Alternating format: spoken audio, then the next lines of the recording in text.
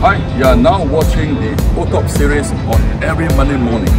And pay attention, there is no other media group like Instagram, Telegram, WhatsApp or WeChat that we share this market opinion.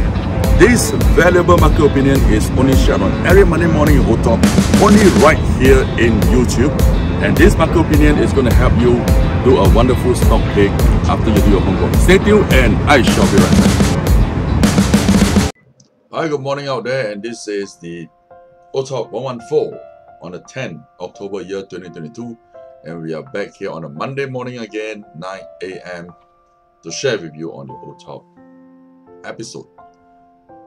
And uh, in this episode today, as usual, well, we're going to talk about something quite unusual and um, sharing our market opinion on this stock for the very first time. So stay tuned for the next 10 minutes and we shall continue to move on. Well, to give a quick run back on what happened last Friday.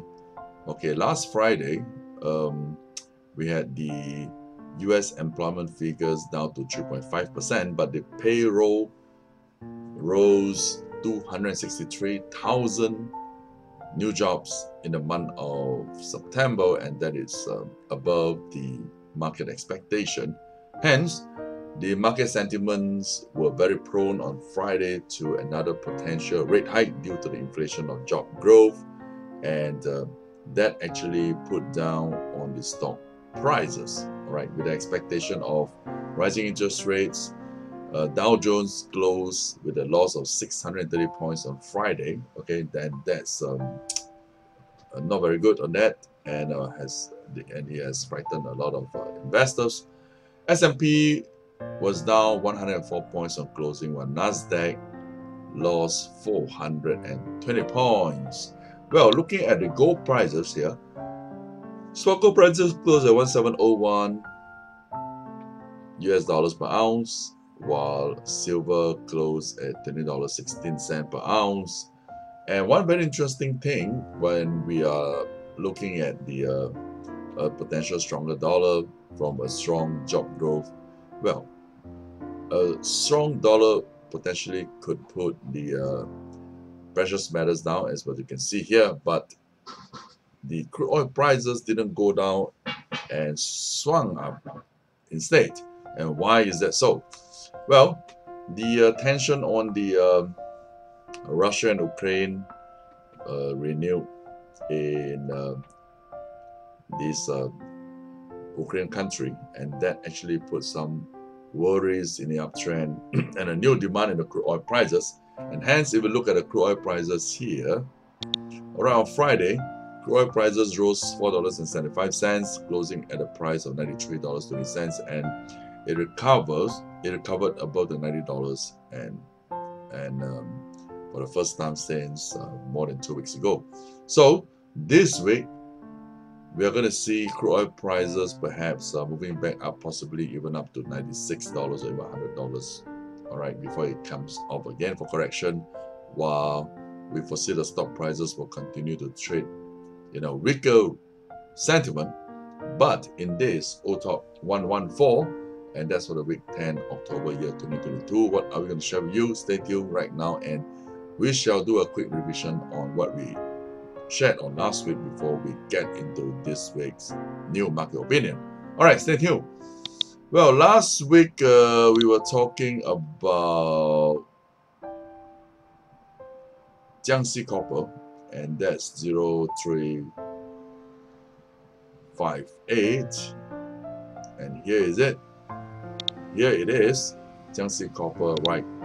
Well, the market has been moving on a, a very small uptrend. All right, on last Friday, if you could have uh, bought at this price, probably nine dollars, and now Friday closes at nine one eight. Well, literally, China is uh, going for National Day, which is a, a, a, length of ten days holidays. All right, and Hong Kong market also have been quiet. It has been quiet because of the um, SOE stock not moving. So if you are holding on Jiangxi Copper and you want to continue to hold for a while because uh, we foresee that the uh, recovery will still be coming very soon. so that's a quick revision on uh, 0358 last week.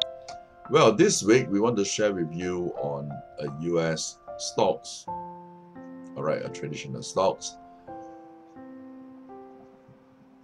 which is known as uh, well, it is here. Lockheed Martin. All right, Lockheed Martin is a listed company back in US, all right, and it is a manufacturer on weapons and military equipment that supply to the US and selling on cross-border to many countries. So why are we looking at Lockheed Martin this week? And this that's because of the news here that we just shared earlier. All right, on uh, Ukraine and Russia okay, moving back to a new renewed tension, and most likely we are looking at US supplying new military weapons to Ukraine again. So on the day chart of this LMT, which is Lockheed Martin Corporation, we do see, okay, a swing out of the prices here on last Friday, closing price a little bit high on 407.19. That's $407.19 US dollars per share price. All right, and uh, looking at this day chart here, yes, a, there's a possibility the market could be strong and going up. But let's take a look at a month chart. Okay, month chart definitely we are on the 10th of October and two more weeks to go for the month of October and I think possibly well the market is going to move in the in, inside the range of what was done in September.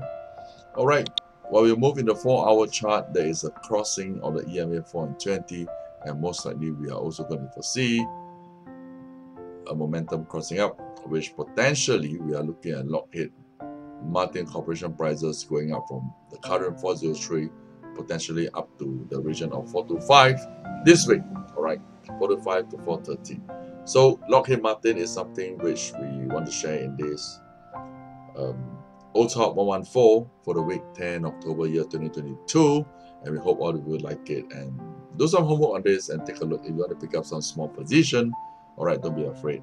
While keep your stop prices perhaps anywhere in the region of 395 okay 395 because most likely the market is going to start off from this bottom 395 and uh, effectively we are still looking at a potential on our trend.